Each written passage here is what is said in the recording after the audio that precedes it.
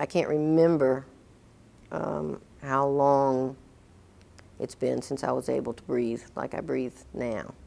Having someone tell me take a deep breath and be able to do that um, is something that I'll never again take for granted because I haven't been able to take a deep breath. It was like sticking a rock, you know, in my mouth and trying to get oxygen through that. So um, that's just been phenomenal.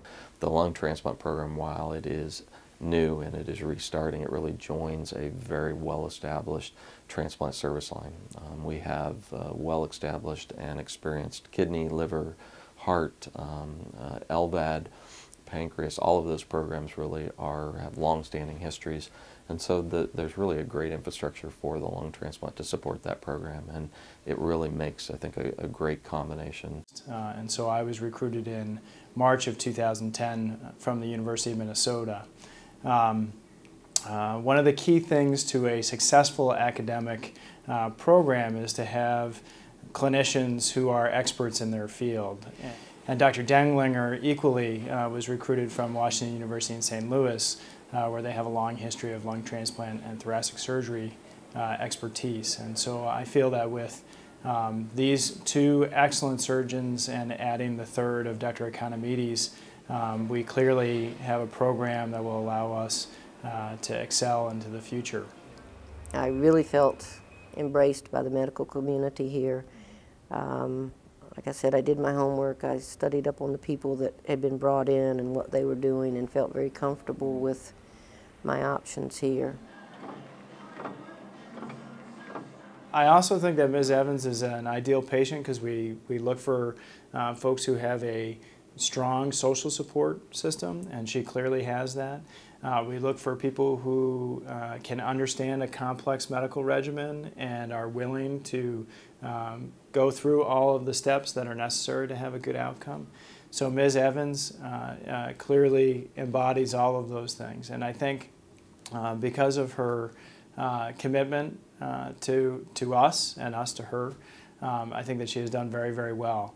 There were two or three chronic issues going on, asthma, COPD, um, some fibrosis that was a result of chronic pneumonias, and then I had a hypersensitivity pneumonitis, which is sort of a autoimmune reaction to um, where my, my body's defense system had um, decided that it was going to reject my lungs. So my lungs were going to, my lungs were being destroyed. So the uh, operation begins with uh, an incision up and down on the chest, dividing the breastbone and providing exposure. Uh, for this operation, we, the heart, um, we do require that they go on heart-lung bypass. So it's the same type of bypass used for virtually all types of cardiac surgery, and it's something that's done very routinely every day here at MUSC. We then remove both the right and the left lungs while the patient is supported with the cardiopulmonary bypass uh, circuit and then we uh, reimplant the airways and the arteries and the veins uh, connecting the heart to the lungs. Any patient who has um, an expected survival of about two to three years time, so their lung disease is so severe uh, that despite all the best medical therapy that we can provide today, um, we believe that they are very high risk to either end up in an intensive care unit and quite severely ill or actually to die from their lung disease over the next two to three years. That's an appropriate patient for us to consider uh, performing a lung transplant evaluation on. Uh, the other uh, group of patients, and, and these two things are closely tied together, but is patients who have uh, severe limitations in their quality of life. Um, uh, so there are some patients that have such severe limitations in their quality of life, uh, but their prognosis, we think that they could live longer than two to three years. Uh, we may consider those patients in the hopes that we can give them a significantly improved lifestyle and outcome after transplant. Surgeries typically take uh, five to six hours. Uh, sometimes it takes a bit longer depending on the amount of scarring there is in the chest based on the lungs, the patient's pulmonary disease. All um, transplant services really can be provided now at the medical university and this with the lung transplant program gives us the ability really to meet the full needs of all patients in uh, South Carolina with end-stage organ failure.